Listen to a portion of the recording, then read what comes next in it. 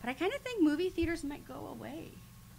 You know what's cool and about watching a movie at home as opposed to like when you're at the theater Hmm. is that like they'll actually give you a pretty hard time if you try just shitting and pissing yourself while watching the film and not doing anything about it. People don't if you're like at that. a theater, yeah. if you're at a theater, well, Yeah. sometimes you'll realize that you're going to get a little bit of um, a little bit of scuff from the patrons, but it's mostly the staff. They what about if you go to those ones that like serve dinner? Is that more acceptable or less acceptable? Oh, like a Alamo Drafthouse or something like that, or like a an fancy one. iPix or whatever that's Ooh, called. yeah. Um, they hate it too. They don't like it. Yeah, they don't like it when you shit and piss yourself in the like in those chairs.